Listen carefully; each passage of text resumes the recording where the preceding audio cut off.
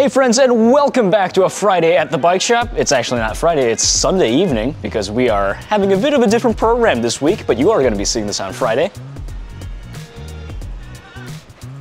Didn't crash. Way to go. That's an improvement from yesterday. But first off, before we start off on this vlog, I would like to give a shout out to Mike, my friend from the Crank Revolution Group Rides, for giving us two bags of coffee. Thank you very much. As well as Scotty and Mr. Chris Chiodo from the barbershop down the road for giving us another bag of coffee. You guys are very much appreciated. You're keeping us alive and awake during this colder, slower winter season. And so, thank you very much. So for many of you who are well versed in the cycling world and you've been following cycling news, you know that the cycling industry is struggling right now. Lots of things in the industry, including consumer direct bikes, just the lack of consumers' interest in cycling, among other trends, have basically given us a very difficult season to work with. And while many YouTube channels will be talking about how the local bike shop is dying or the industry is dead, why don't we talk about the birth of our bike shop and how the Crank Revolution bike shop came to be? Years ago. 10 years, yeah, we're in a similar timeline. the term, the name Crank Revolution came about before my cross country bike tour. I remember us trying to do that dictionary thing for a while where you just flip random pages and that wasn't working at all. We are like, but we need I, that something. Was, that was your technique. I, I think I, I, I put yes, I had used bike terms band, on yes. two different sides. Crank Revolution, if anyone doesn't know, that is the crank is where the pedals are, and revolution would be it pedaling. And so it's you know pedaling, it's moving forward. It's it's a very you know very simple analogy for that. Well, the thing for me too is the word revolution was the first one that I remembered thinking, yes, it has to have that. Not because I like the word revolution as much as we wanted to change. Like we both were at a corporate uh, bike shop where we couldn't always do what we wanted to do for customers. There was a lot of frustrating corporate things involved, so we really wanted to change how we do it. So the revolution of what a bike shop should be is something we definitely yeah. matched on. And then it was like, okay, wheel revolution, saddle revolution. Like there's only so many parts on a bike. I mean, handlebar tape revolution yes. obviously is where we should have stuck. But. On the advice of counsel, I'd like to take the fifth. We met at Performance Bike Schaumburg in the service area. yes, locationally, that is, that's locationally, where it was. that was exactly yes. where it was. So it's 155 West Golf Road, Schaumburg, Illinois, 60192. Yeah. I don't remember the phone number there anymore. No, I, I used to either. have all of that. From my perspective, uh, so it was another you know normal day where I was working on bikes. This guy came in and he was like, "Hey, I've been riding more with my daughter and I don't know how to fix a flat. Yeah. I'm nervous about that." And I was like, "Oh, okay, cool. We're slow." So yeah, I like grabbed his bike, put it up in the stands, like, "Cool, this is how you do it." And then like now it's your turn. Yeah, he actually ahead. made me do it, which and is then, great. then you got your hands on, and so yeah, it is. It's funny to think that yes, we now own a bike shop. Yeah 10 years later. Is it? Ten, yes. It's close. Almost 10 years. Almost 10 yeah. years. We met on what I would hope that you would consider to be like a good bike shop interaction. Yeah, to meet TC and not only watch, be like, all right, I'm gonna observe this, I'm gonna figure it out, and then him to actually go, okay, here's a stand, go for it. I think that's what we've really taken here too with clinics and classes is teaching riders is important.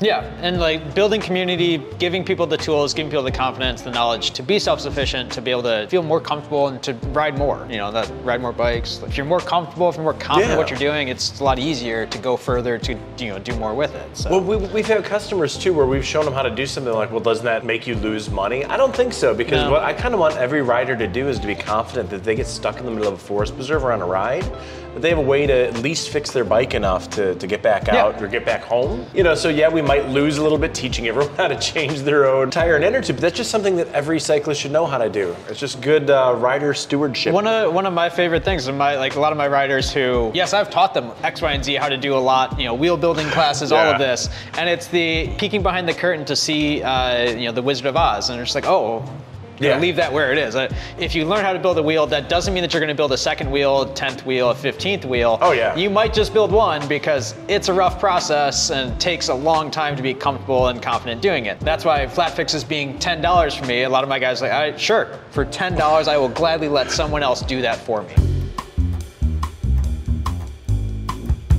2017, I moved out to Utah, and then 2019, I moved back to open the bike shop. That was the big thing then. I was working for Specialized um, as a retail care rep, I think was my like official term, but uh, I mean, uh, we did a lot in that office. Managing some global allocation of all warranty parts and dealing with massive spreadsheets.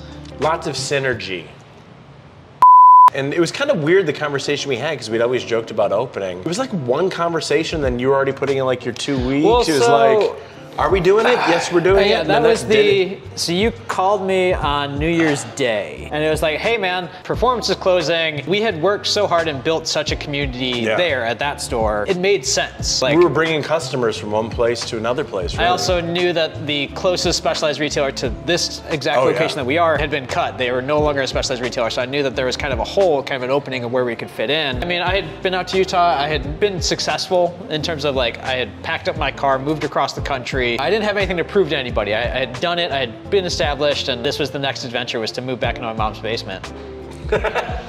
which we both ended up doing. It's the, shop. only way to like a, to fund this and Yeah, not, and to not fund go and into afford massive it. amounts of debt. And, Yeah, uh, exactly.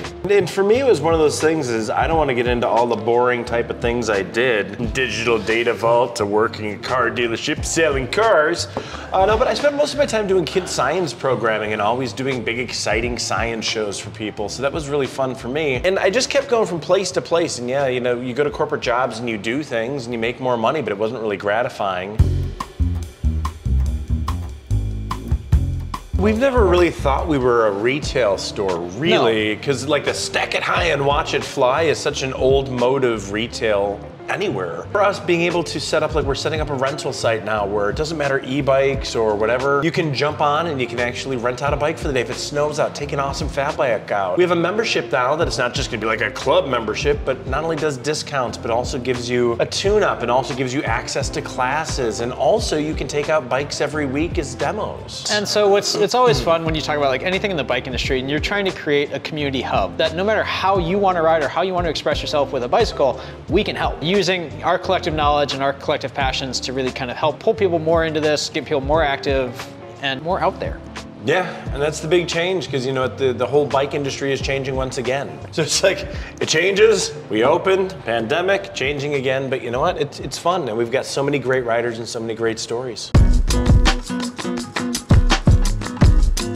I hope you guys enjoyed that little chat with TC and Jeremy, the two owners here. Of course, it's been a tough couple of years. It's going to be a tough year ahead, but it's been an awesome year working with you guys.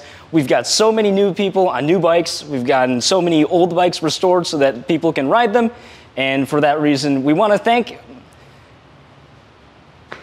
Make it rain! I am not cleaning that up.